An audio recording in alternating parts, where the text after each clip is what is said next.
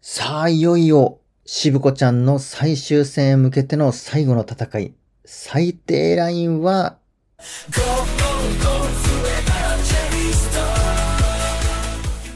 はい、ゴルフの楽しさを伝えるゴルフエヴァンジェリストのりょうです。アメリカ女子ツアーの第32戦、ザ・アニカ・ドリブン・バイ・ゲインブリッジ・アット・ペリカンという長い名前の大会ですけども、初日の組み合わせと、あと AI の優勝予想を言ってみたいと思います。またコメントもたくさん来ているのでね、読まさせていただきたいなと思います。まず組み合わせ、こちらです。はい。渋子ちゃんがトップスタートになりましたね。7時スタートです。まあ、フロリダなので14時間の時差があるということなんですけども、で、まあ、この7時スタートですから14足して21ですからね。木曜日の21時スタートと。日本時間ではそうなりますね。劉類心とチェンスーチアと一緒に回りますけれども、この夜の9時、21時スタート。まあ、西村ゆなちゃんは7時11分ですから、日本時間だと21時11分ですよね。領収書くださいの、シュウエリンちゃんと一緒に回りますけども。で、西郷真央ちゃんが7時10、7時44分、笹ゆかちゃんが7時55分ですね。はい。まあ、21時台っていうことです。で、ワウワウね、日本人専用カメラは誰を映すのかと、ちょっと期待して見てたんですけどもね。そしたらね、金曜日の1時30分。まあ、真夜中ですね。真夜中。だから25時30分ということですね。あの、木曜日の夜中と思ったらいいです。金曜日の、あの、早朝。早朝っては言わないか、もう真夜中だね。木曜日の夜中、スタートです。で、誰を映すのかというと、吉田ゆりちゃんと勝みなみちゃんを移すそうです。この二人。まあやっぱり勝みなみちゃんはシードがかかっています。で、吉田ゆりちゃんは100位以内のね。まあ、よく言う、あの、準シードなんて言いますけども。シードは80位以内なんですけども、勝みなみちゃん80位なのでね、ギリギリのところにいます。なんとか予選を通過してという前にやっぱりね、上位目指してね、優勝目指して頑張ってほしいなと思いますけども、吉田ゆりちゃんは80位以内っていうのはちょっと厳しいかもしれないけれども、でも、あの、望みは全くないわけじゃないですし、それと100位以内に入れば、まあ、あの、去年受けたね、予選会、最終予選ね、旧シリーズ受けることなく、来シーズンも出場できるという権利が降りてきます。まあ、今年はね、武田良ちゃんが TOTO で優勝したので、それを回避してね、ツアーメンバーになります。で、受けるよって言ってるのが山下美優ちゃんとか、岩井姉妹とかね。あともう一回馬場咲ちゃんが受けると思います。で、二次予選通過したのが原恵里香ちゃんとか、山口鈴香ちゃんとか、まあこういったメンバーが受けるということなんですけれども、そこに入って一緒に戦うっていうことをしなくて済むと。いうのが100位以内なんですよ。その100位以内をね、なんとかしなきゃいけない。勝みなみちゃんはシードギリギリというのもあって、ここを移すんじゃないかなということです。なので、まあメインは日本人専用カメラ、初日は吉田ゆりちゃんと勝みなみちゃんですね。ワウワウ入ってないよって方ぜひ見てほしいんですけど、いや、そんなね、お金払ってまでって言うんだったら、あの概要欄に貼っておきます。あの、女子ゴルフのね、有料配信。まあ、海外だったらワウワウとか、あと国内ツアーだったら Unext とか、そういうのをタダで見る方法っていうのを、YouTube ではちょっと言えない内容なので、これをね、メディアブルっていうサイトで、あの、動画出してます。まあ、YouTube と同じような媒体なんですけども、あの、YouTube はね、広告が出せると、条件を満たすとね、広告出せるので、まあこれ勝手に出ちゃう場合もありますけどもね。で、広告のあの出方、まあ回数によってね、再生回数とか、それとかまあ、あの、再生維持率とか、いろんな組み合わせがあるんですけども、そういったので、まあ、あの、一動画あたりの単価が決まって、あの、広告収入が入ってくるっていうシステムを取ってるんですね。だからもう再生数命でやってる人たちもいますけども、私はそんなにこう再生数再生数っていう感じではなく、まあ、あの、交流できたら一番いいかなと思うんですけど、メディアブルの方は広告が出ません。一切出ません。その代わり、あの、有料のこう動画にあの設定すると、月額料金を払わないと見れないようになってますけどね。でも、あの、概要欄に貼っとく、女子ゴルフの有料配信サービスをタダで見る方法っていう動画は無料で見れるようにしておきましたので、まあ、無料なので、あの、ぜひ見てほしいなと思います。そこで得た、あの、内容でね、あの、有料配信、ワウワウだったらワウワウ見れるようになると思いますのでね。まあ、すぐにはダメかもしれないけど、まあそれやり方をね、あの、分かれば、理解すれば、今後、そういった有料配信に、あの、入って見ることができるよという感じなんですけども、まあそちらはぜひ見てほしいなと思います。このメディアブルっていうサイトね、まあちょっとこう動画アップ時間が YouTube よりもかなり遅かったり、ちょっと不便なのでね。だけど、月額料金ずっと払って、あの、入り続けてくださってる方がいらっしゃるので、そういった方のみで、あの、飲み会を開いたり、一緒に観戦しに行ったりとか、そういったのも来年ちょっと考えたいなとは思っております。せっかくお金払ってくださってるのでね。まあ、ライブ配信とかもこちらだけでやったりね。あの、YouTube でもライブ配信やってますけど、そうじゃない、あの、ちょっと際どいことを話すことは、まあ、メディアブルの方で、こう、言ったりとか、あと映像ですよね。あの、とうとうの時の、あの、脇本花ちゃんと、あと、西村ゆなちゃんの表彰式でのこの出来事とかを、あの、画面録画でね、ちょっと、後々見たいなと思って、画面録画をしといてね、後でチェックしようと思った時に、面白い映像があったのでね、それをメディアブルの方で、まあ YouTube だと、YouTube だとね、ちょっと、あの、ダメなので、規約違反になってしまうんで、メディアブルはちょっと規約がこう、ちょっと曖昧な部分があったりとかするもんですから、そちら厳しくなる前にね、そういったのを出しておいていますのでね、そちらで楽しんでいただければと思います。はい。まあ、そういった、あの、交流とかを持てれば将来いいかなとは思いますよね。一緒に。まあ、まだ感染しに行ったことがない方とか、まあ、ゴルフ仲間がいないよっていう方はね、一緒に行ったりとか、私と一緒に行ってね、観戦しに行ったりとか。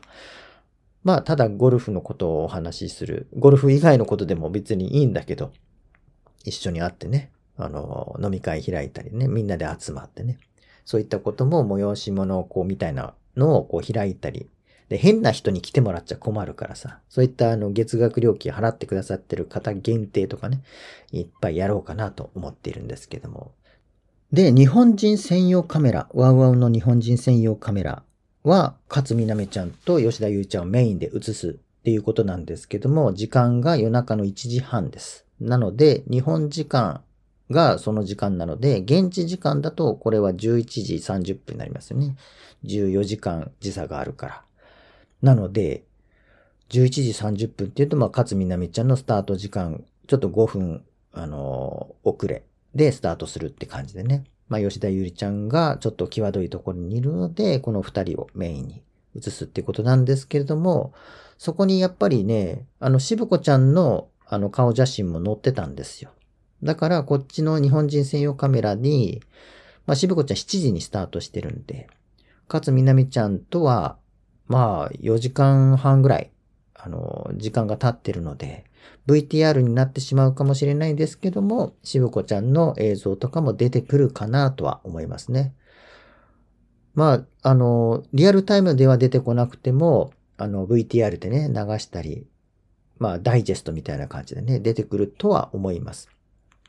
真ん中に吉田優里ちゃん、右側に勝みなみちゃん、で、左側に渋子ちゃんの写真があの、サムネイルになってたのでね、ワウワウの日本人専用カメラ。なので、ちょっとこう、期待してね、見ていきたいなと思うんですけども。じゃあ、本放送の方はと、ワウワウライブの方はどうなのっていうと、ワウワウライブの方っていうのは、あの、海外選手とかも含めて、日本人だけっていうわけにはいかないんですけども、海外選手でも、あの、注目の選手たちもう全体の注目選手たちをメインで映すっていう感じになっておりますのでね。なので、ここ、これがね、あの、夜中の0時スタートなんですよ。夜中の0時。だから日本人専用カメラよりもちょっと早いと。なので、まあ、勝みなみちゃん午後スタートの一発目なんですよ。一番早い、あの、午後スタートで一番早い組なんですよ。それが11時25分スタートですから。まあ、現地時間10時スタートになるんですよ。本放送はね。だから1時間半近く、あの、間があると。スタートしてから。だから、ここでメインに移すのは、多分、あの、7時33分スタートの、ネリー・コルダ、リリアブ、パティ・タワタナ・キット、この3人の組の後半部分と、あとね、11時58分スタートのリディアコ・ローズ・チャン、レクシー・トンプソン、ここら辺を、あの、前半部分っていう感じで映すんじゃないのかなと予想しております。レクシーもあと2試合だね。レクシー今49位ですからね。だから来週も、あの、最終戦ツアー選手権出れますから、この2試合出て、まあ、引退という感じになってくると思うんですけどね。はい。まあ、それから、その後ですね、西郷真央ちゃん、笹生ゆかちゃんと、まあ、渋子ちゃん、西村ゆなちゃんが前半組で、全員日本人選手は1番ホールからのスタートになります。で、午後組の一発目が勝みなみちゃんで、で、その次に11分遅れで吉田優里ちゃんが出て、で、その後、ナッサー、畑岡奈紗ちゃんが、で、最後、真央ちゃんと、ルーキーオブザイヤーを戦っているイムジンヒと一緒の組になりました。それから、モネちゃんですね。今、モネちゃんは103位なんですけども。まあ、ここでね、なんとかね、あのやっぱりルールが変わってくるので、去年ね、TOTO で優勝した稲見萌寧ちゃんでしたけども、まあ1年間、あの、シード権を与えられるっていうことで1年間プレイしてきたんですけどね。だけど今年優勝した武田理央ちゃんは2年間なんですよね。稲見萌寧ちゃんもね、あの、内心はなんだよとかって思ったんじゃないですかね。誰にもそういうインタビューを受けてもそんなことは一言も言わないけれども、内心ね、いやー、タイミング悪いななんで私が優勝した後に2年のシードなのと。武田理央ちゃんは2年なのに、私も同じ TOTO で優勝しているのに、なんで私だけ1年なんだよとかってね。ねちょっとね、不満がね、爆発してるかもしれないですけど。まあ、それでも103位ですからね。吉田ゆりちゃん同様、あの、予選会に出なくても出場できる100位以内を目指して頑張りたいかなっていうのと、もしかしたら私的には日本に帰ってきて A 級シードを本格的にあの目指すっていう方に切り替えるのかなと。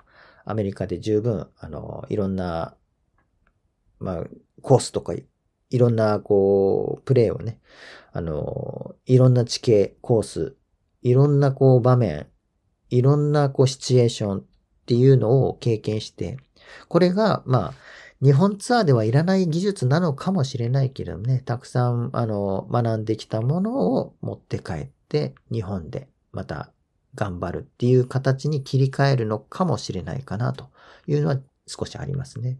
このままアメリカでずっとっていう感じでは、まあ本来ね、永久シードを取りたいっていうのがもう一番の目標だっていうふうに言ってたんで、そっちに切り替える可能性もあるのかなと思いますね。100位以内に入ったら、もう一年やってみようかというのを、まあチームのみんなで話し合ってやるのかもしれないですけどね。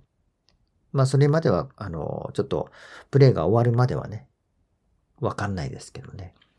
まあチャンスがあるんだったら来ようっていうことで1年間来たわけですけども。まあ、今回もね、100位以内に入って出れるんだったら、じゃあもう一回アメリカツアーちょっとやってみようかということになるかもしれないしね。どっちになるかはわかりません。でもね、この間勝ったばかりのキム・アリムと一緒になりましたからね。いや、ジェニファー・カプチョとか、まあいい組み合わせかなとは思いますけどね。まあすごい、あの、日本人選手、まあ最後、マオちゃんもローレン・コフリンとミンジー・リーと一緒でしょ。まあすごい組み合わせに、まあ、してもらえるようにね、なったなと、認められてきているなというのは感じますけどもね。はい。それからですね、あの、こちら見ていただきたいんですけどね。はい。あの、一応日本人選手、あの、9人がアメリカツアーメインに戦っておりますけれども、今年いっぱい、今まで戦ってきての、あの、順位です。あの、CME ランキングですね。まあ、エッティと笹生優香ちゃんがメジャー優勝しました。でも、平場で誰も優勝してないっていうのはちょっと寂しいんですけどね。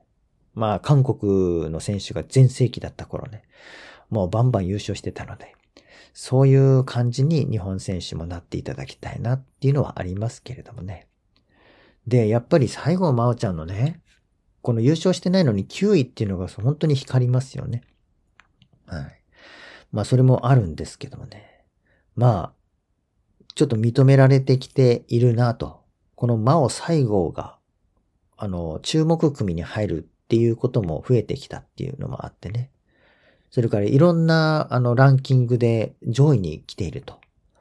まあ、そういったのも、あの、周りの人が常にこう見ているのでね。ああ、この選手、日本選手、いや、すごいのが出てきたぞというような感じで、また見られてきているのかなっていうのはありますね。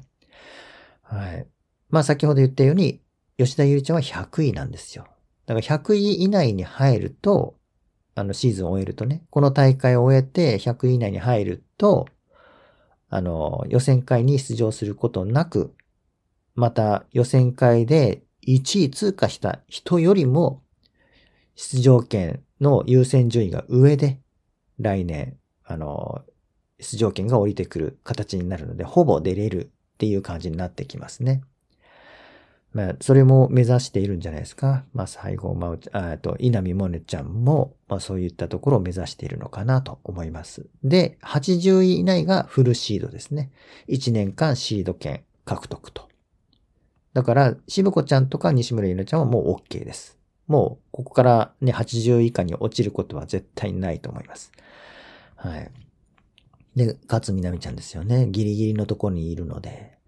まあ、運が良ければ予選落ちしても80位に残るっていう可能性もあるけれども、これは自分自身で勝ち取ってほしいなと思いますね。しっかり予選通過して上位を目指して頑張る。まあ、優勝しちゃしちゃってもいいよという感じで私は見ておりますけどね。なんとか、なんとか来年も、まあ、頑張ってほしいなと思いますよね。はい。で、その次見てほしいんですよ。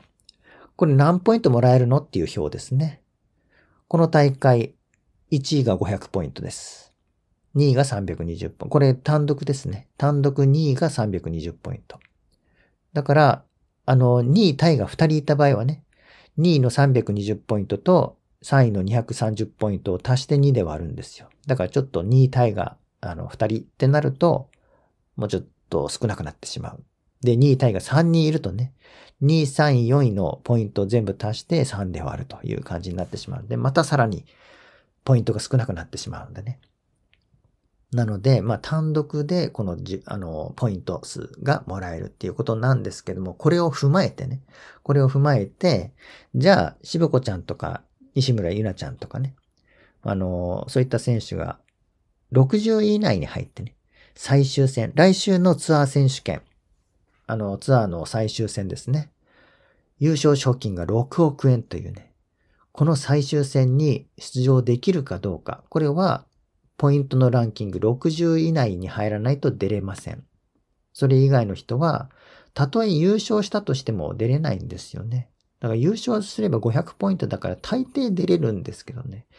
まあでも、あの、優勝しただけでは出れないという、あの、俗に言うエリートフィールド、フィールドというところなのでね。もうエリートしか出れませんよというところなんですよ。60人しか出れないと。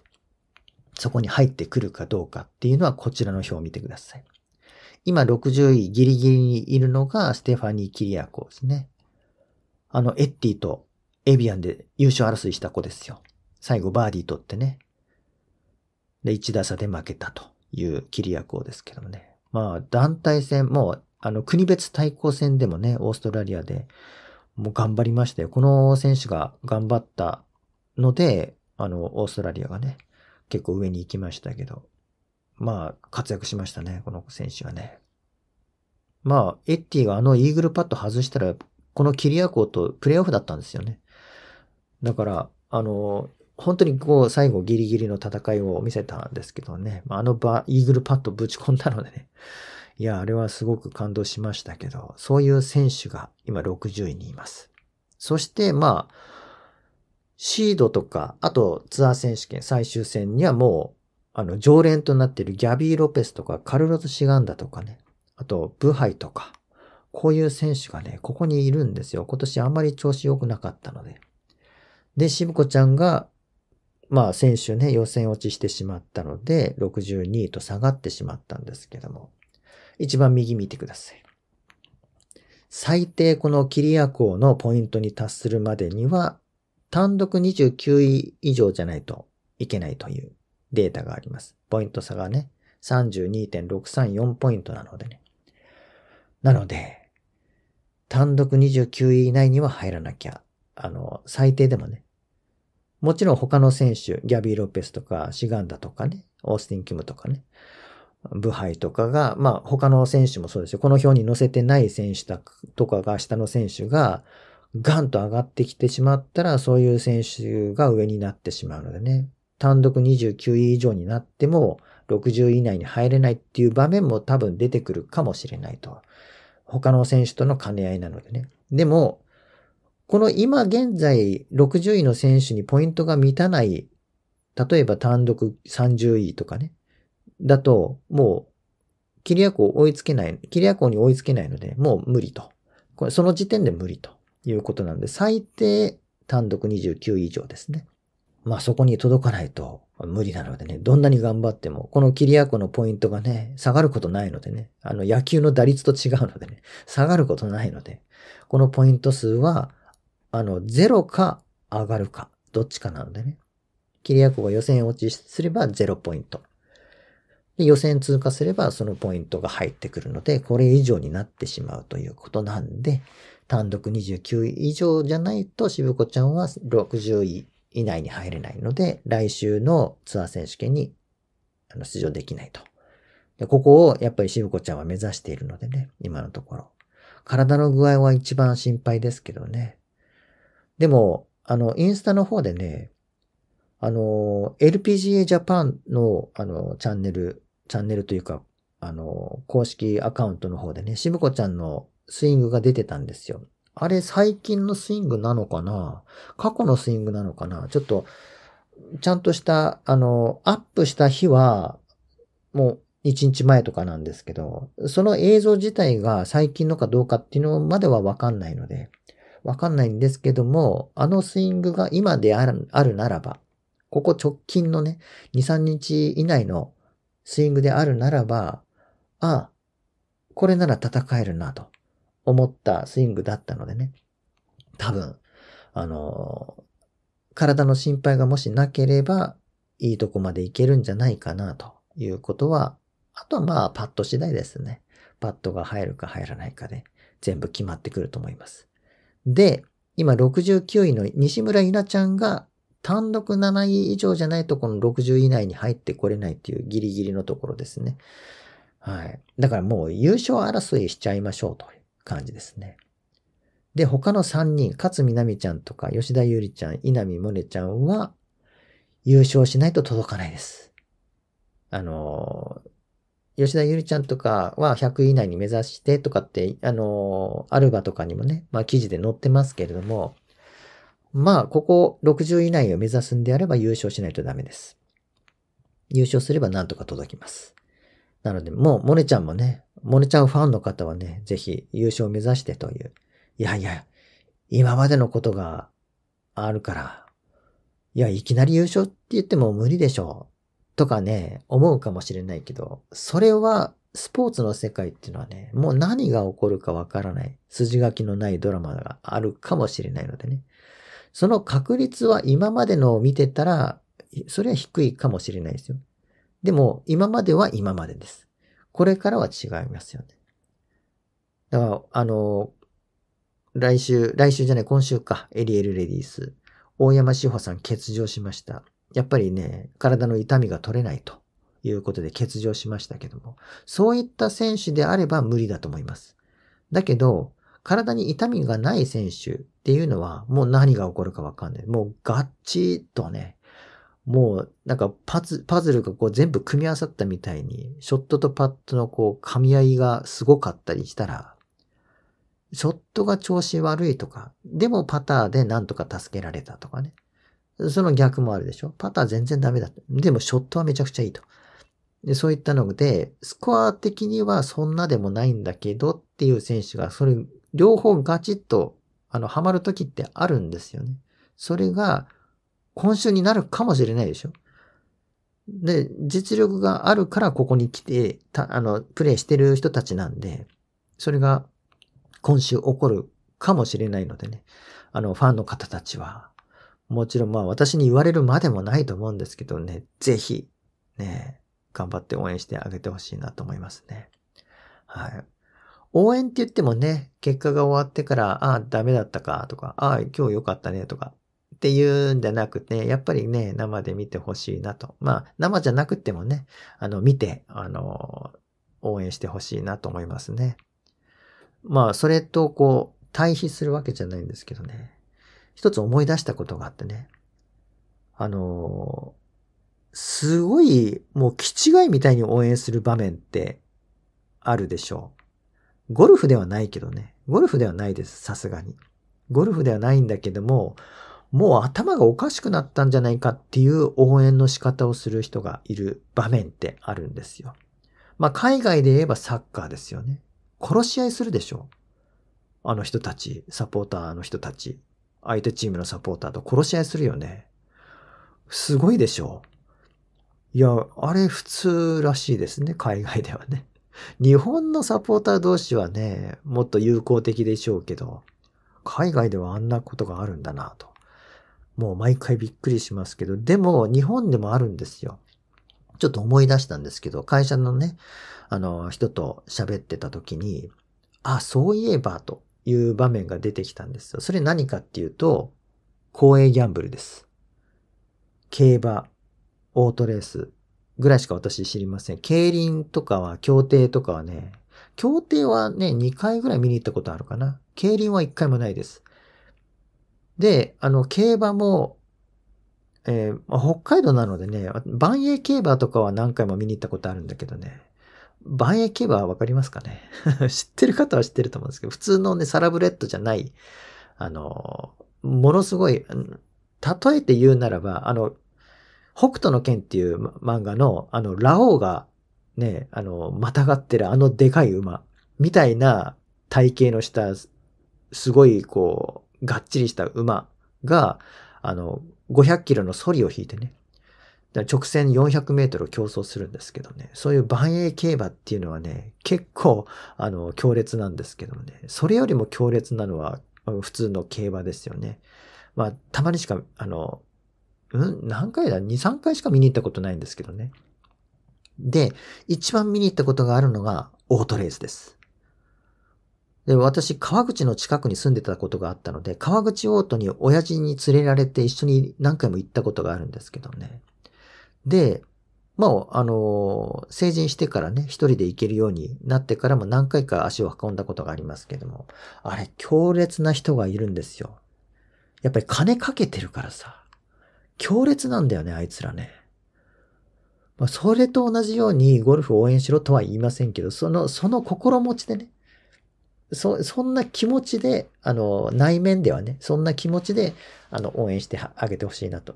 例えばね、あの、オートレースでね、まあ今現在もそうなんですけど、女の子ですごい強い選手いるんですよ。佐藤真也ちゃんっているんですけどね。あの、顔もなかなか美人ですよ。この子ね。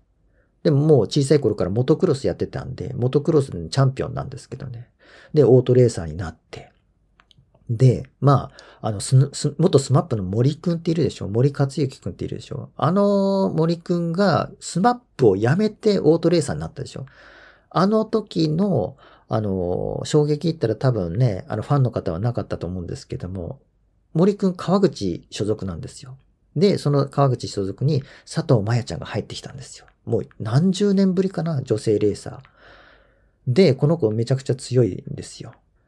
だけど、めちゃくちゃ強いって言ってもやっぱりね、男子のプレ、あの、選手と同じレースにハンデなしで出なきゃいけないんですよね。女性だからってハンデもらえないんですよ。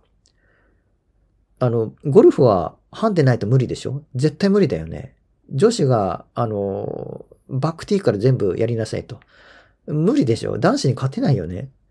そんな感じですよ。まあ白 T からでいつもと同じ T からでいいですよ。でも男子も同じ T からですよってちょっと負けると思うんだよね。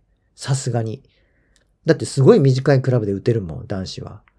だけど、オートレースの場合は、あの、ハンデないんですよ。まあ、ハンデって言っても面白くするために、公営ギャンブルなのでね。面白くするために、オートレースって、まあ、知らない方のために説明すると、スタートラインがあるんですよ。そこがゼロですよね。ゼロっていう印がついてるんですけどね。あの、印っていうか、あの、ゼロのところのスタートライン。で、その人がいつも出してるタイムがあるんですけどもね。そのタイム、平均したタイム、持ち、持ちタイムがありますよね。平均タイム。その平均タイムが遅い人たちが、あの、ゼロのところからスタートするんですよ。で、いつもそのゼロの人たちよりも速い人が10メートル後ろの10っていうスタートラインからスタートして、同じゴールラインに入るという。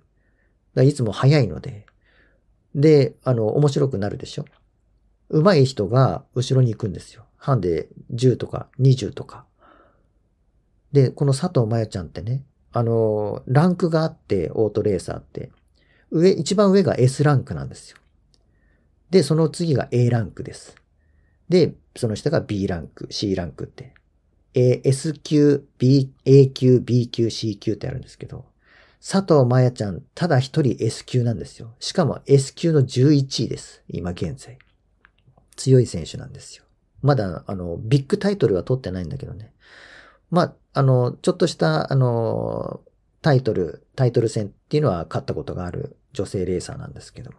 まあ、男に混じってね、同じハンデで、あの、やるわけですよ。もう強い選手なんですけどね。その、里真也ちゃんがね、出た時に、私ね、行ったことがあるんですけど、あの、ド根性ガエルっていうアニメに出てくるあの、ゴリライモンみたいなやつがいてね、もう金のネックレスをジャラジャラつけててね、あの、スキンヘッドでね、なんか体はゴリライモみたいな感じのね、あの、兄ちゃんがいたんですよ。多分若いと思うんだけど、もう気違いみたいに応援するんですよ。あの、6周回るんですけどね、もう声が枯れるかっていうぐらいでね、もう必死で応援するんですよ。で、佐藤真也ちゃん1着になったんですよ。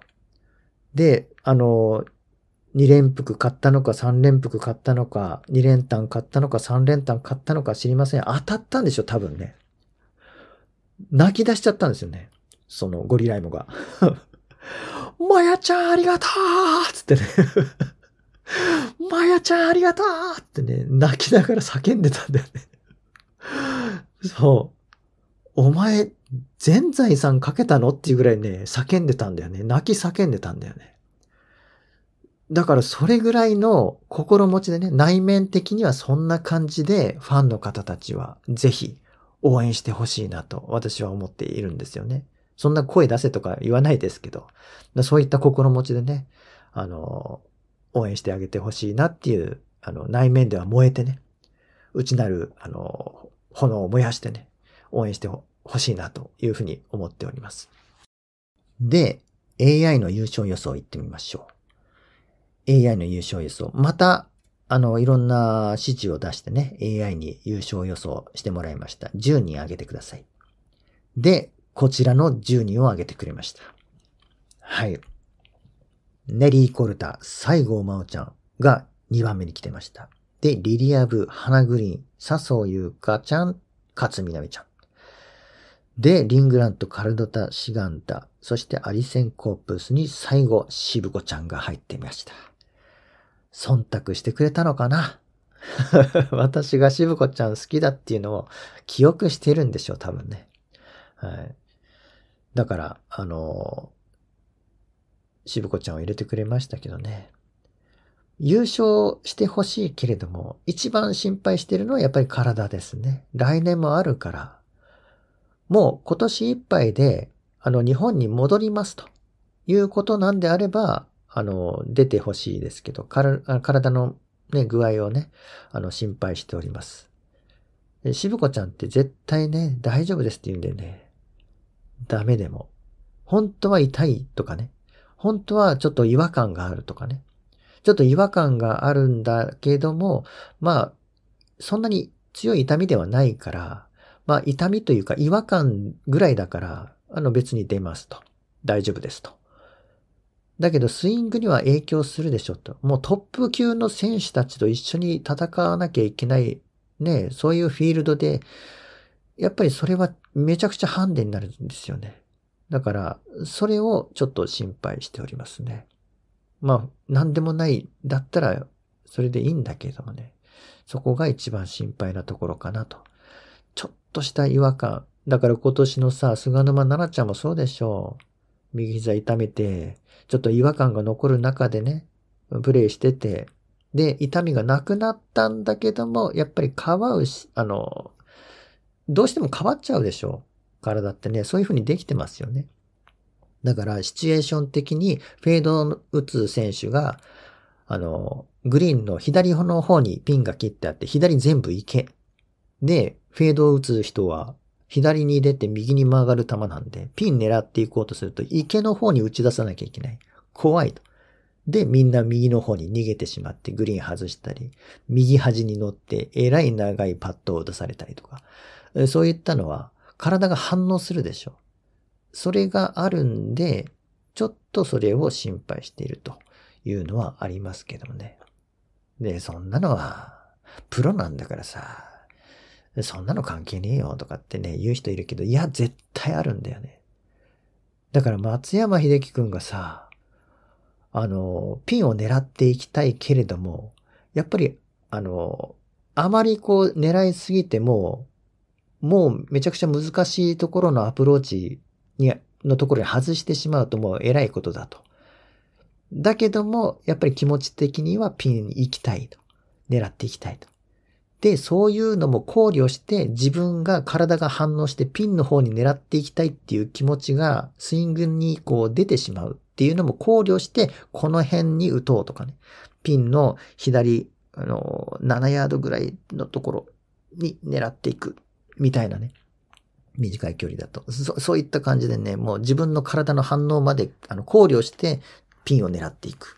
ピンの、あの、まあ左の方だったら、まあちょっとこう狙って攻めていきたいっていうところをね、狙っていくっていうのはね、そういったのも考慮してっていうのはね、いや、すげえなと思いますけどね。やっぱそういう、あの、体が反応してしまうっていうのもあるんで、そういったのをちょっと、あの、考慮してね、渋子ちゃん、ちょっと無理しないでほしいなというのはあります。でも、60位以内は、まあ、渋子ちゃんだったらいけると私は信じておりますね。はい。ゆなちゃんも優勝争い何度かしてますからね。はい。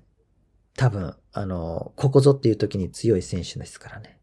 いや、もうダメでしょ、という時に連続バーディーとか来て、で、しまいにはイーグルも出て、ゆなちゃんがイーグル出して、で、ギリギリ通過したっていうのも、あの、去年あったでしょそういったのも、土壇場に来ると強いところを見せると思うのでね。ぜひ、なんとかして、ベスト10じゃなく、やっぱりベスト5以内ぐらい、もしくは優勝っていうのをね、見せてほしいなと思いますね。はい、それではコメント読まさせていただきたいと思います。えー、高橋さん、えー、19組、あ、エリレールね、エリエールレディースの。19組、サイの国埼玉じゃなくて、サイの国、あ、サイの組偶然ですかね。よく気づきましたね。私も見落としてました。尾関亜美ちゃん、高橋さやかちゃん、渡辺彩香ちゃんと、3人。あやっていう、このサの国のサの字がみんな使われてるっていうね。まあちょっとこれは弱いかなと。同じ名前とかの方がインパクトあるよねっていう。ちょっと気づきづらい。私がちょっと見落としたぐらいですから気づきづらいっていうのはありますよね。はい。それと、えー、コビちゃん、ほ、ほ、ほび、ほびちゃんっていうのかな？名前が同じじゃなくてもいいじゃない？いいですよ、別に。いいんだけど、まあそういうのがあってもたまにはいいんじゃないっていうだけの話ですよ。で、今シーズンね、そういうのが全くないんですよ。まあ去年もそうだけどね、一昨年もそうだったけどね。いや、でも一昨年はまあ、純粋に桃子が3人並んだ珍事が起きました。すごい話題になりましたよね。桃子祭りだっつってね。もう SNS でね、結構盛り上がったんですよ。一番上にトップだったのが鈴木愛ちゃんでした。その下に上田桃子ちゃんと大里桃子ちゃんと、あの、あれだ、岸辺桃子ちゃん。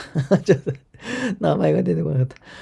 はい。まあ、岸辺桃子ちゃんね、ほんといい子なんですよ。私がね、観戦しに行った時にね、あのー、声、もう私小さな声でね、あのー、声かけたんですけどね、あの、こちらをちらっと見てくれましたけどね。ドンマイって言ったんですよ。ボボギー打っちゃった後だからね。ドンマイって小さい声で言ったんですよ。あんまりこう大きい声で言うことじゃないかなと思ってね、ちょっと小さい声で言ったらね、ちらっとこっち見てくれたんですよね。で、うなずいてくれたんですよ。はい。ま、本人は多分覚えてないでしょうけどね。まあそういった、あの、この子いい子だな、やっぱりと思い、思った、あの、岸辺桃子ちゃんが頑張ったのでね。で、桃子3人並んだんですよ、3人。まあ最終日、最終組になったらもっと盛り上がったと思うんですけどね。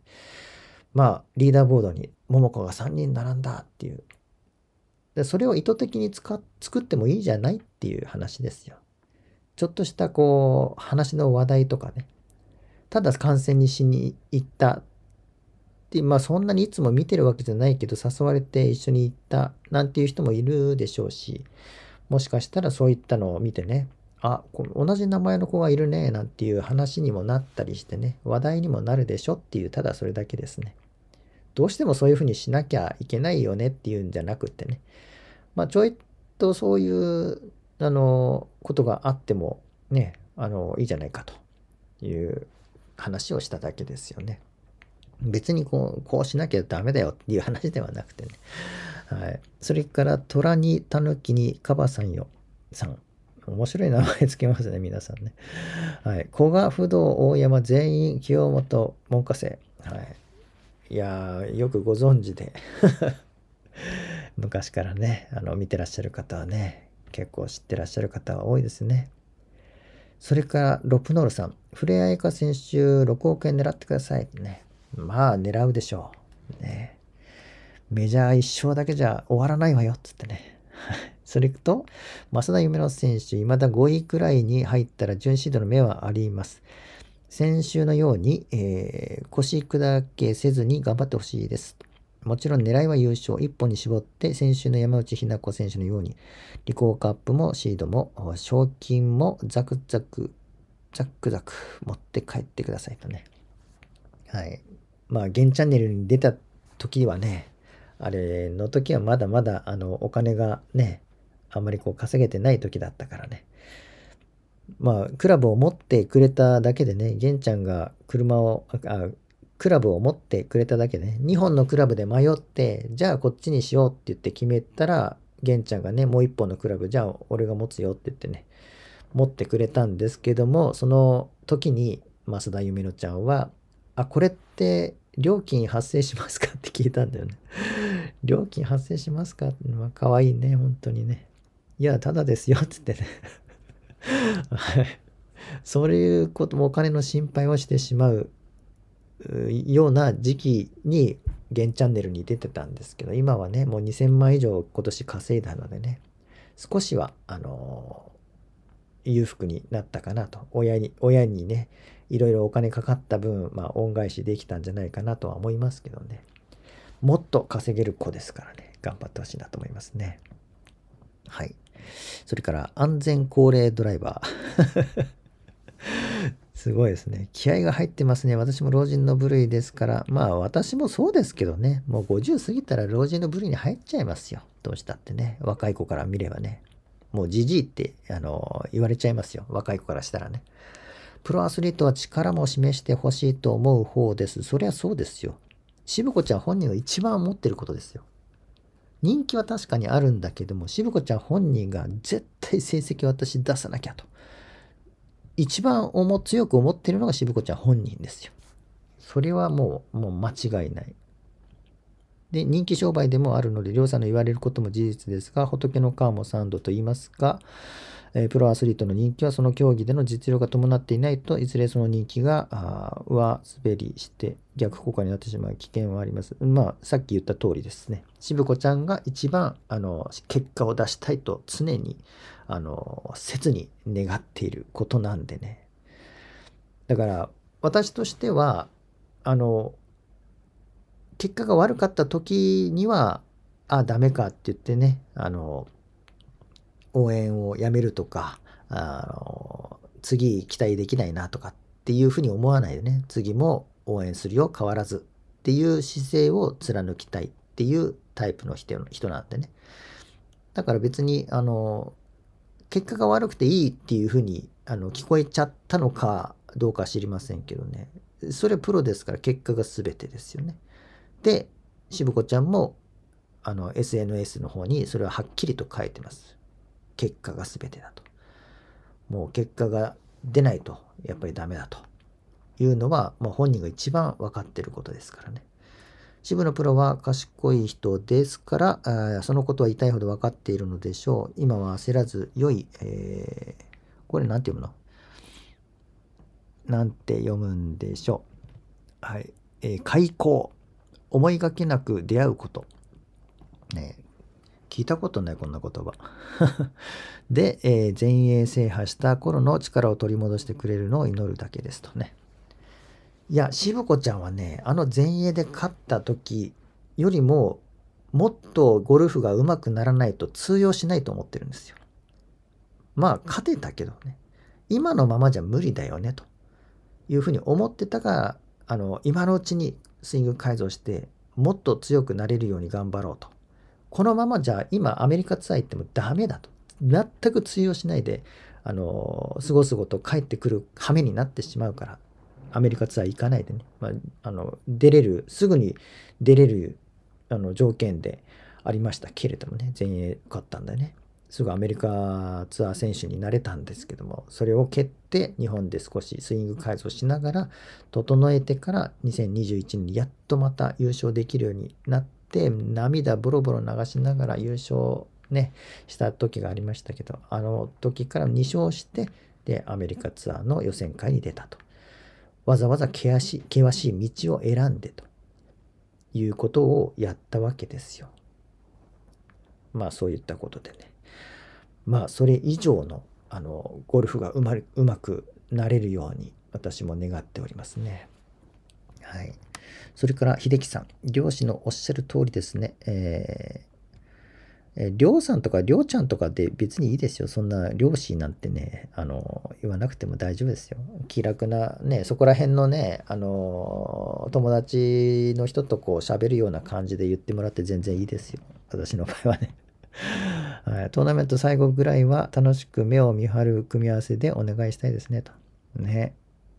最後ぐらいはね。ね、エリエールさん、ね、お願いしますよと思ったわけですよ。最後ぐらいはね。それまでのあの主催者がこうやっぱりねそういった遊び心があんまりなかった感じに見えたもんですからね。最後ぐらいはそういうのあってもいいかなっていうね話題作りとしてね。やっぱりゴルフあんまり興味ない人がゴルフあの興味持ってくれるとかね。そういった感じにこのしていこうっていう姿勢がないとゴルフファン増えないですよ。あの、ゴルフをする人がぜひ増えてほしいなっていうのはありますよ。なぜなら、用具が売れないからです。若い人はね、金かかるからゴルフいいやと。あの、釣りとかさ、あれそんなにたくさん金かからない方がいいやとかね。うん、そうそういうふうにな方向に行っちゃうんで、まあ、ゴルフ、あの、私、常々思うんですけどね、私ね、ゴルフクラブ買わないんですよ。貢献してないじゃないかって 思うんですけど、若い人でね、それね、ゴルフやろうよと誘ってもみんな高いと。ゴルフクラブが高いというのがあるんで、ゴルフクラブを買わずに古いのをずっと使い続けても結構スコア作れるよっていうのを示すためにわざと新しいのは買わずにね古いバラバラのね特化品だけであの揃えたあのゴルフクラブでねまた今度行こうかなとは思いますけどねあのちょっと寒くなってきたからあの少し安くもなるしねあのお誘いを受けていくことになるとは思うんですけどねまあ動画撮れたら撮りたいなと思いますね。えっ、ー、と、何やら、えー、えー、と、どこだ、どこ読んだっけ？あ、ジムニーさんね。今回コメント読むコーナーまで初めて視聴しました。あら、ありがとうございます。長いのにね。はい。何やら聞き覚えのある、えー、投稿者、あ何々さんを話題にされていました。自分もこの方に対して返信した記憶があります。あ、そうですか。人それぞれの考え方があるのは理解しますが、それを他人に強要したり押し付けるする人に対しては徹底的に軽蔑しますと。プロだから結果を出せとか、それって、えー、あなたの個人的会見です、見解ですよねと。自説を主張を展開されたいのであれば、どうぞ別チャンネルで、何なら自分のチャンネルを開設なさって思う存分されたらいかがですかと。ああ、その通りですね。はい、自分のチャンネルで自分の思いをた思いの丈をこう、ね、語ったりあのするのはもう大賛成ですね。私は還暦を少ししすぎて、現在はリタイアしている身です。ゴルフはプレイしませんが、ここ数年で女子ゴルフを視聴するようになったことで、このチャンネルにたどり着きました。今季は残りわずかですが、今後も応援するつもりです。ちゃん付けはやめませんよと。はい。まあ、ちゃん付けしていいと思いますよ。時代が変わったんです。はい。昔はダメでした。昔は歯を見せて笑うなと。で、ライバルとあの楽しそうにね会話するなんてもってのほかだみたいな感じの雰囲気がありましたよね。バチバチでした。優勝争いとかはね。本当に。だから上田桃子ちゃんと藤田佐伯選手が優勝争いした時なんかね藤田佐伯選手自体はそうでもないんだけど上田桃子ちゃんね負けて悔しいからやっぱりね握手するんだけどね本当にもうかろうじてね握手にあの答えたっていうだけのね、もう握手してすぐもう通り過ぎちゃったりとかね、そういった感じでやってた人の方が昔は多かったんですよ。だから今のさくちゃんがね、多分信じられないと思うんですよね。あの、大先輩方としたらね、いや、時代が変わったわね、という感じなんじゃないかなと。あの、トレーニングもそうでしょ。トレーニングしてる人前いなかったでしょ。ねあの、メンタルコーチとかはいたかもしれないけど、あの、トレーナーさんがこんなにね、繁盛するとは誰も思ってなかったんかなと思うんですけどね。もう、科学の進歩ですね。まあそういった感じで、あの、変わったんですよ、もう。時代が変わっちゃったんです。だから私もあの脳みそをアップデートしていこうと。えー、若い子のあの話を聞いたりね、若いし若い人のあの話題についていこうと思って、そういう若い子が興味持ってることにちょっとこう興味を持ってあの見てみようとか調べてみようとかあのそういったことを私はあのじじい呼ばわりされたくないのでね若者ぶってあのちょっとあの調べたりとかあの興味を持ったりとかは常にしています。最初は興味なくてねなんでこんなのがいいんだと思ったりもしたりとかね。音楽で言えばもうラップとかねヒップホップとかもう耳障りでしかなかったのに、まあ、最近はね、まあ、そんなにあの耳障りでもなくなってきたかなと。まあそんなに大好きではないけれどもね。はい、だからアニメとかもそう。あのアニメ好きの若い子の話を聞いたりとか、はい、あんまりこう絵のタッチがあんまり好きじゃないなっていうのも見てねその人とあのその若い子とねあの一緒に喋ったりあのアニメのことを喋ったりとかですね、まあ、この子どういうあのアニメが好きなのかどういう性格なのかなこの子はと。仕事する上でね。なんかそういう工夫とか努力っていうのは怠ら怠らないようにしないと人間っていうのはダメになっていくなと。あのやっぱりもうああのじじいと喋りたくねえと。私言われたくないもんですから嫌われたくないもんですからね。まあ、あの若い子とを一生懸命喋るようにはしてますね。興味も、興味持たない、持ってなくても興味持つように努力はしてます。はい、そそういうふうにしていかないとね、やっぱりこう、なんかダメになっていくなと、あの、衰退していくなというふうに思ってしまうのでね。努力はしてます。えっ、ー、と、ああ、のぼるひらぎさん、こんにちは、りょうさん。1時間以上おしゃべりご苦労様でした。まあ、すみません。長くなっちゃってね。時間ない人はね、そんな長い動画見れないよと、途中でね、動画閉じてしまうと思うんですけど。最後のコメント素晴らしかった。さすがクソみそですね。涙出ました。私もじじいだから涙腺弱くて、私もですね、ちょっとしたことで泣いちゃう。ちょっとでも感動するとダメですね。さて、明日からのエリエル、えー、夢のちゃん、さくちゃん、絶対頑張れ。年寄りをがっかりさせないでくれよとね。まあ、がっかりさせれてしまうようにはしたくないんでしょうけど、そうならざるを得ない時もありますよね。みんな強いからね。はい。それから、ゴルニャーさんでいいのかな？えー、初めてコメントします。女性です。お女神様ですね。私にとって、このチャンネルにとって女性はもう女神様ですね。はい。私は笹生選手のファンです。ああ、そうですか。確かに彼女は人気がありませんが、いや、人気ありますよ。笹生優香ちゃん。海外で。あの、インスタとか見たことあります？全部英語だもん。英語の方が喋りやすいんですよ、彼女ね。日本語怪しい時あるでしょ。海外の選手とかとすごい仲いいしね。まあ、もちろん日本語、英語喋れます。で、フィリピンですから、あのタガタガログ語、フィリピンの言語ももちろん読み書きできるし、あと、タイ語もちょっと喋れるしね。だからタイの選手とタイ語で喋ったりとかするらしいんですけどね。本当もう言語が堪能でね。だから海外の選手とすごいみんなこう友達なんですよ。だからあの海外の人と仲がいいっていうのもあ、って海外の人たちから認知されてるっていうのはあるんじゃないですかね。だから海外でもやっぱりあのマキロイのようなスイングは海外の人たちも知ってるのでねそのスイングがまああの女性なのにすごいなっていうことでこう海外のファンの方結構いらっしゃるようですね。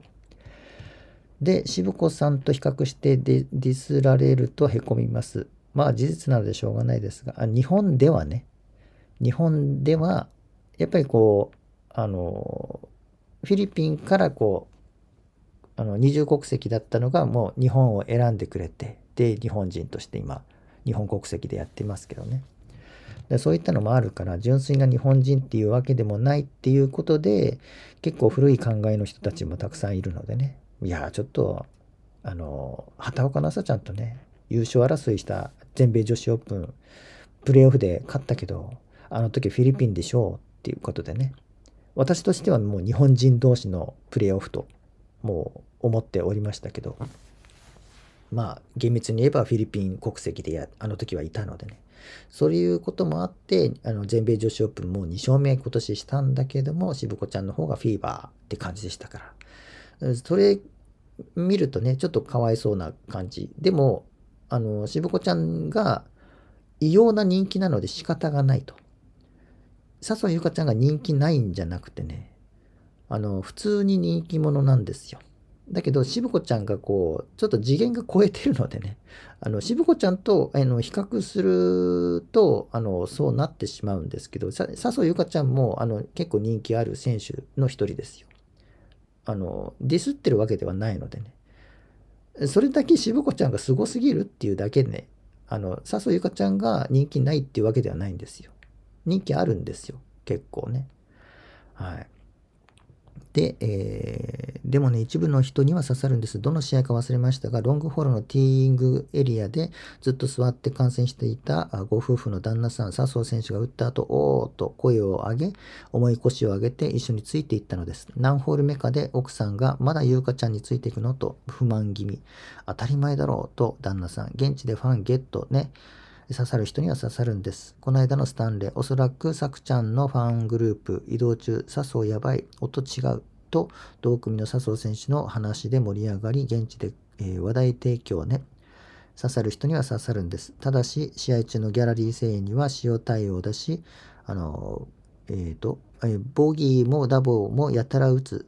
現地観戦しても刺さらない人の方が多いとは思います。ああ、長文失礼しました。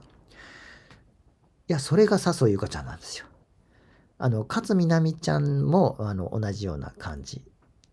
あの、4日間大会でね、ノーボギーでね、記録作った勝みなみちゃんですけど、結構ジェットコースターのことが多い。だけど、それが魅力。バーディーが多いと。で、笹生ゆかちゃんもそのタイプ。で、ロングホールで2オンする確率も高い。飛距離も出るしね。だからあのスイング、マキロイのようなあのスイングね。解説者の誰だっけな？あ田島さんかな？田島宗志さんかな？もう、笹生優花選手見てると、もうマキロイにしか見えないよね？とかって言ってたんですけど、そそういった面では、やっぱりね、あの、なんていうのかな？まあ、ギャラリーで見見に行ったことが、笹生優花ちゃんについたことがないので分かりませんけど、塩対応っていうか、割とインタビュー聞いてても分かるでしょう。あの、普段の笹生優花ちゃんってもう、あの、ひょうきんなんですよ。だけど、あまりこうそういったところをあの見せたくないっていうね、やっぱりプロゴルファーとしてこう試合に出てるので、あの、インタビューの時は真面目に答えるっていうふうにしたいのかなと思うんですけどね。どういうあのあれなのかは分かりませんけどもね。ちょっと照れくさいとかね、そういったのもあるんじゃないかなと。でも英語だと多分、あの、いい返し方してくれるとか、だと思いますよ。はい。あの、渋子ちゃんの、あの、YouTube チャンネル見てください。あの、笹生優香ちゃんと渋子ちゃんが練習ラウンドしてるっていう動画。面白いですよ。まあ、普段こんな感じなんだろうなという感じですね。まあ、だから私もいつも言ってるけどね、あの、シュウ・エイリンちゃん、台湾のあのシュウ・エイリンちゃんがその動画に出てくるんですよ。笹生優香ちゃんと渋子ちゃんが練習ラウンドしてる動画の最後の方にちらっと出てくるシュウエリンちゃんがいるんですけどね。あの、日本語を少し喋れるからっていう、喋れるからっていうか日本語を少しあの覚えたということでね。お疲れ様でしたとかね。日本語喋ってくれる。その時に、あの、領収書くださいっていう日本語で爆笑するんですけど、そういうシーンがあるんですけどね。やっぱり普段はあの、あんな感じですよ、さすゆかちゃんもね。だから、あの、ワウワのインタビューでも、あの、生で出てる時のインタビューは全部入っちゃうのでね、結構ひょうきんなところがあるんですけど、でもそういったところを切るんですよね。後のダイジェストの部分のあの放送になるとね、あのインタビューのシーンでおちゃらけた部分とかね、あの笑ったりするシーンをこうカットするんでね、真面目に答えるシーンしか見てない方もいらっしゃるかもしれないですけど、結構ね、面白い子なんですよ。ひょうきんですよ。笹生ゆかちゃんね。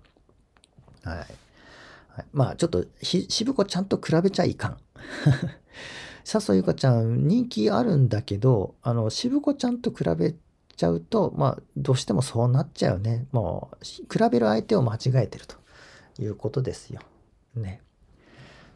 だまあボギーとかも打つんだけれどもね、やっぱりすごいイーグル。まあ、あのパー5のセカンドでね、ビタッと1メートルにつけて、楽々イーグルとか、そんなのはね、年に何回もあるでしょ。そりゃ魅力だよ。魅力だよ。ね。だから、あの、それと、まあ、笹ゆかちゃんの場合、あの、自分の調子の波があるから、そのな調子の波が上がってくるのをひたすらじっと待ってる。一生懸命毎日同じようにね。あの、怠らずに練習は続けていって、その自分の調子が上がってくるのを、あの、待ってるというような、この、なんていうの、そういったこう自分に自信を持ってる部分っていうのはね、あの、まあ、慌てず、バタバタせず、自分はもう正しい練習をずっとしてるから、そのうち絶対上向きになってくるっていうのを信じてね、やってる姿っていうのは、やっぱりプロらしいなと思いますけどね。はい。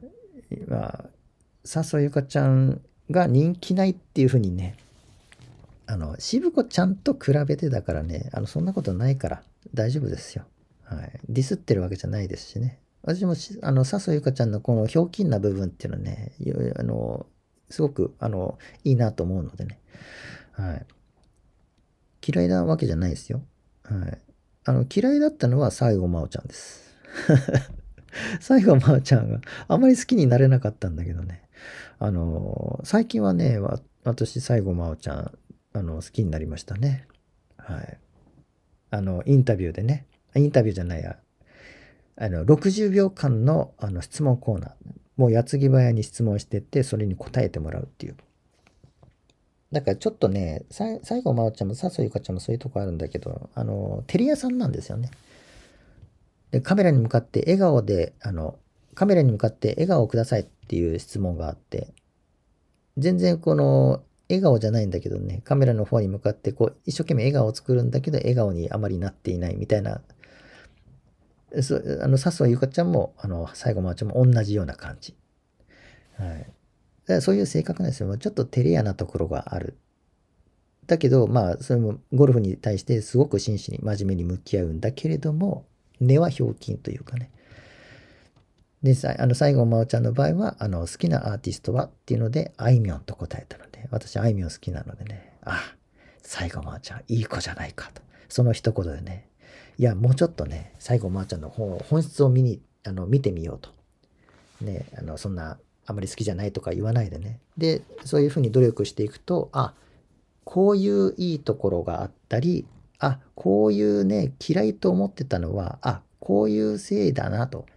もう性格が真面目な性格ゆえにそういうふうになってしまったり、照れ屋でね、あんまりこう表現できなかったり、あの、笑顔になれなかったり、そういった部分が出てしまってるだけなんだなっていうのが分かって、あ、この子は、あの、もともとそういう子だから、あの、なんか、笑顔でね、いてもいいんじゃないかっていう場面でも笑顔を作れずに、あの、そういった不器用な面もあるからっていうのを理解してから、あこの子いい子じゃないかと思うようになりましたよね。私もそういうふうに努力はしています。嫌いな選手がいてもね。はい。山本さん。えー、リーヒョソンはプロですか？はい、プロ転向しました。JLPGA 会員になるっていうことは、プロ転向しないとダメですからね。はい。アマチュアのまま JLPGA 会員にはなれません。はい。プロです。韓国ツアーのプロではないですけどね。日本のプロです。はい。それから、えー、ケイナオさんが最後になるかな。いつも楽しみにしていますが、以前、りょうさんのチャンネルのやり方に文句を言う人がいるとのことで、私はりょうさんの番組なので気にしなくて良いとコメントしました。今、組み合わせがどうのこうの言ってるの、言っているのは、りょうさんちょっと違うんでは？何がですか？一部以外の選手は生活もかかっていて必死かつ真剣にゴルフに取り組んでいます。気候の方は選手をリスペクトしているから遊び心とか笑いは取り入れないのではと私は思います。あの、笑いを取り入れろとかじゃなくてね、あの、ゴルフそんなに夢中になってない人も取り込むにはそういったあの遊び心もあっていいんじゃないかなということです。たまにはっていうことですね。いつもじゃなくて。たまにはそういった話題作りも、あの、やってもいいんじゃないかなということです。そうじゃないと、もともとゴルフ好きな人は、ゴルフの好きなままで入れる入れるんで、じゃあ新規を取り込まなきゃいけない。その新規を取り込む姿勢っていうのがないんじゃないかなと思ってしまうんですよ。足りない。ゴルフの気候って言ってますけど、JLPGA はね、頑張ってる方ですよ。だけど主催者の方ですね。あの JLPGA が決めてるわけじゃないので、主催者が決めるんでね。で、まあテレビの放送とかもあるんで、それも考慮してのあの決め方だと思うんですけどね。まあ内情は分かりませんけどね。まああるでしょう。ここは注目含みで、あの、有料配信の方でね、ライブ配信の方で、ここを映すメインにしようっていうことで、この人、この人、やっぱりこの人、あの、注目組に入れましょう。っていう感じになるでしょう。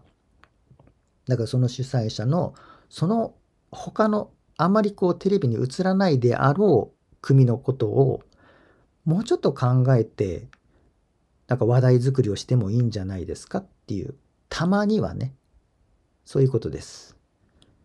選手をリスペクトしてるっていうのはねそれはもちろんそうですけどもねあの遊び心とか笑いっていうのを取り違えてません？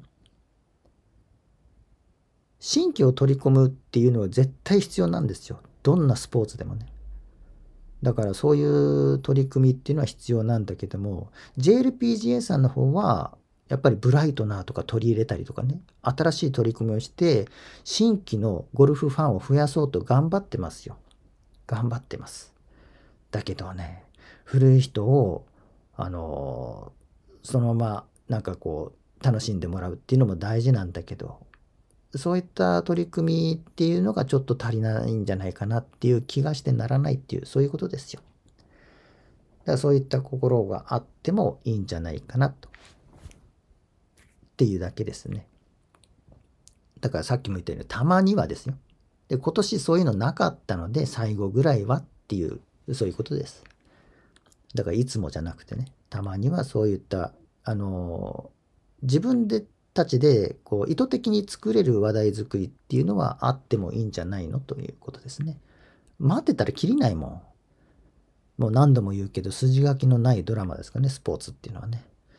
だからあの一昨年桃子祭りになった桃子が3人揃ったスコアボードにねそれもう本当にもう奇跡でしょあんなのはまあしばらくないでしょうねあったら嬉しいけどねだから意図的にあのみゆ3人とかねはるか3人とかさかな3人とかさあの似たような名前の人たちが、まあ、漢字は違ってもねでもうさくら3人まあ作れるんだったら作ってもいいじゃんっていうのはちょっとありましたよっていうだけのことです。どうしてもっていうんじゃなくてね。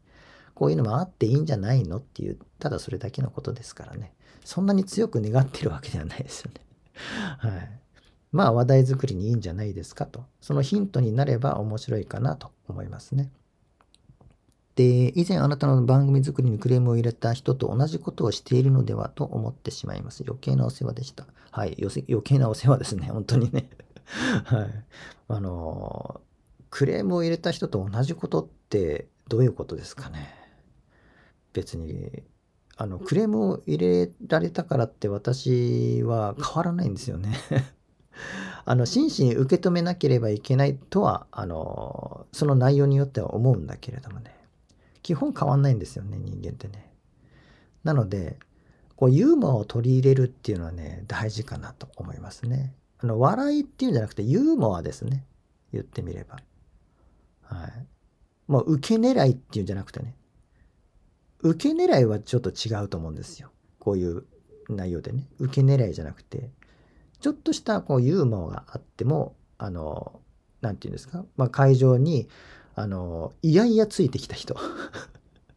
あの、いやいやではないかもしれないけど、まあ、連れられてきた人。